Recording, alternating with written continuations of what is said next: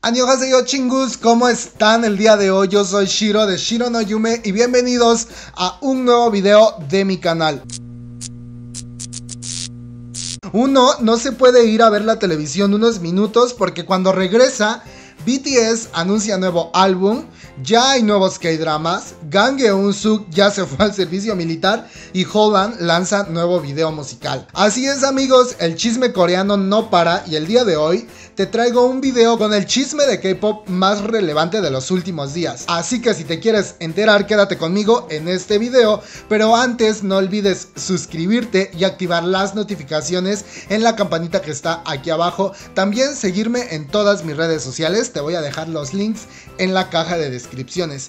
Y dicho todo esto, y porque sé que ya están ansiosos por enterarse de este chisma coreano, pues vamos a empezar con el video del día de hoy.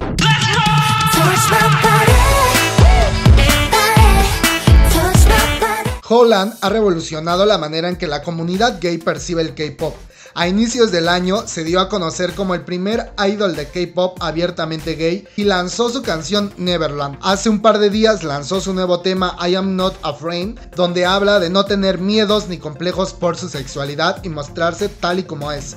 Ahora, el día 17 de julio, dio a conocer su video musical para el tema I Am So Afraid, que es totalmente lo opuesto al primero, y en esta canción muestra sus sentimientos sobre el rechazo y el ser odiado por las personas que aman. Uy, no, el que viene a continuación está fuertísimo, ¿eh?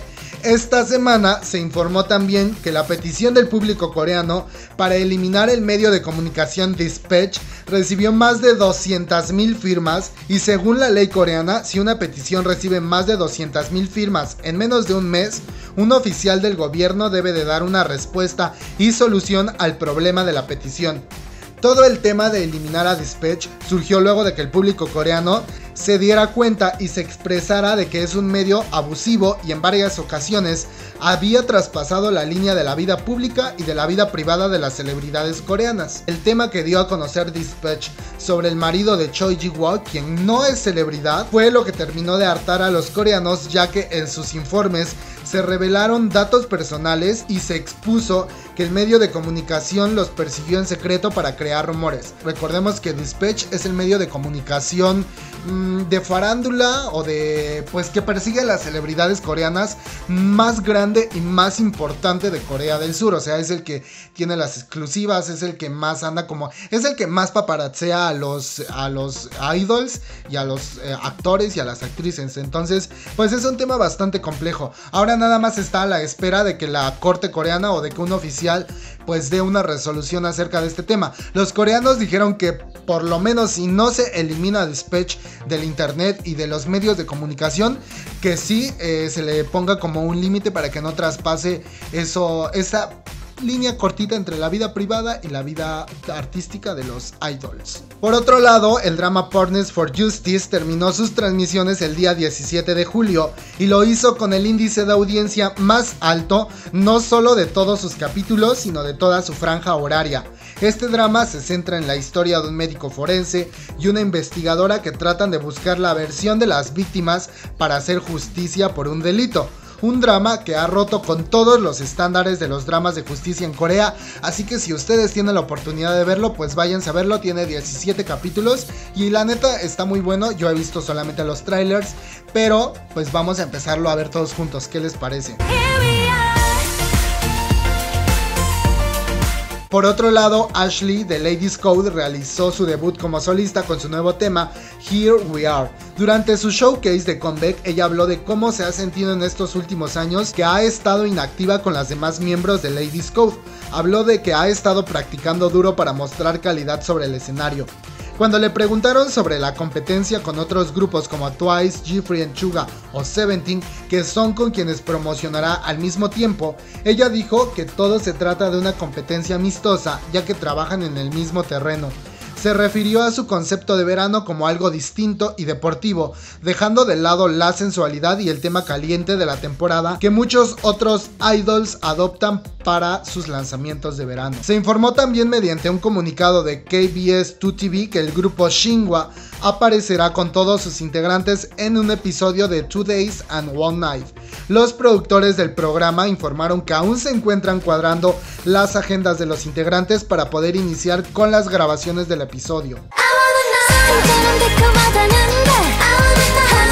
Esta semana se informó que el sospechoso por las amenazas de muerte contra las integrantes de Twice fue arrestado recientemente. La policía coreana informó que el joven de 20 años fue arrestado y enfrentará la ley por las amenazas que hizo en contra de Twice. Recordemos que el año pasado Twice recibió amenazas de muerte en un sitio de internet. Posteriormente, una nueva amenaza surgió del mismo sitio, donde se decía que un hombre esperaría a Twice en el aeropuerto con 20 litros de ácido clorhídrico para dañarlas. Neta, que enfermos, o sea, ¿A quién se le ocurren esas mamadas? Pay, agencia de las chicas, ni tarde ni perezoso informó a la policía para que se buscara al responsable y afortunadamente un año después pues ya dieron con él. Amber, integrante de FX, ha sido un idol que ha mostrado su poder y libertad en el mundo del K-pop. Un mundo donde los idols difícilmente pueden ser libres y expresarse como ellos mismos. Ahora Amber ha roto con esos estereotipos y ha decidido mostrarse tal cual es. Ella recientemente firmó con una nueva agencia en Estados Unidos para promover en ese país y fue una alianza entre SM Entertainment y la nueva agencia de la Idol. Y para anunciarlo, Ember subió una foto a Instagram donde deja ver que ella es una mujer fuerte y con estilo propio. Además, la descripción de la foto es una declaración de libertad ante la ideología que predomina en Corea y en muchos otros países del mundo sobre la mujer.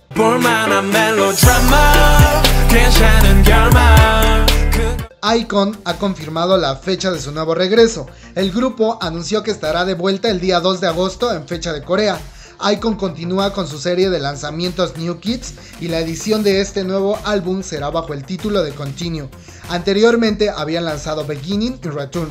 Este será el lanzamiento más reciente del grupo, luego de que a inicios del año lanzara Love Scenario y su tema rompiera las listas de descarga en Corea. Por otro lado, esta semana Gaon, el sitio de música más grande de Corea, dio a conocer la lista de los álbumes más descargados, streaming y álbumes físicos.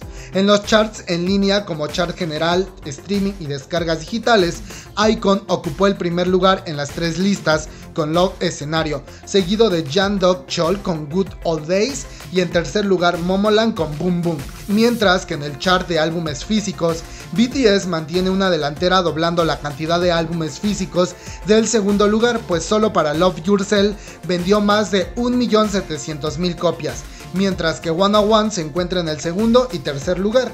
También en la lista figuran nombres como NCT, EXO, Twice, Super Junior, Taeyeon, Blackpink, GOT7, Jonghyun, entre otros.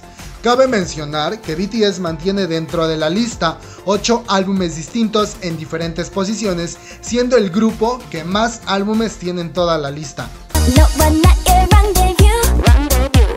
SM Entertainment, agencia de NCT, anunció que los miembros del grupo serán parte del nuevo programa producido por Visit Korea para promocionar de manera local e internacional el turismo dentro del país.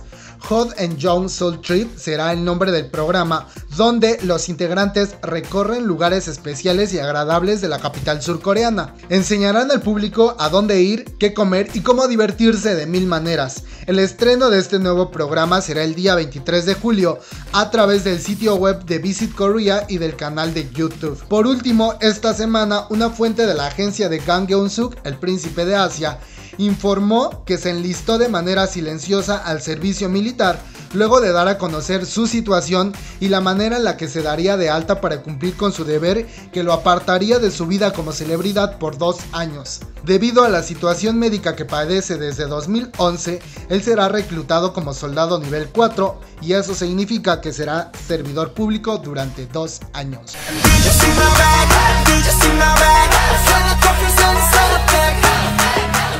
Y pues bueno chingus, hasta aquí el video del día de hoy. Ay, hoy fue un video de harto chisme coreano. La neta es que sí me cansé en grabar esto, mi garganta está sufriendo.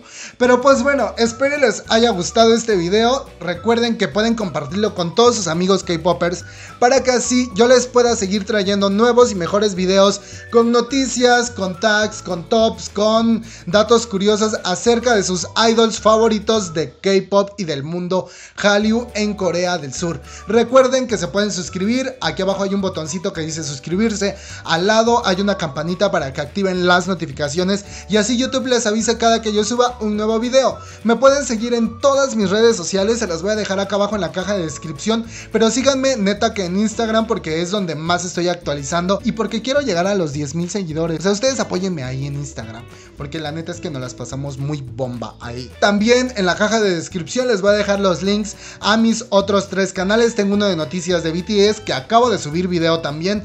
Tengo uno de video reacciones que se llama Shiro Reacciona. Ya voy a actualizarlo. De hecho ya grabé la reacción para ese canal. Y tengo uno de blogs de viajes donde estoy constantemente actualizando y subiendo contenido. Así que si les agrada alguno de esos canales pues pueden checarlo y suscribirse.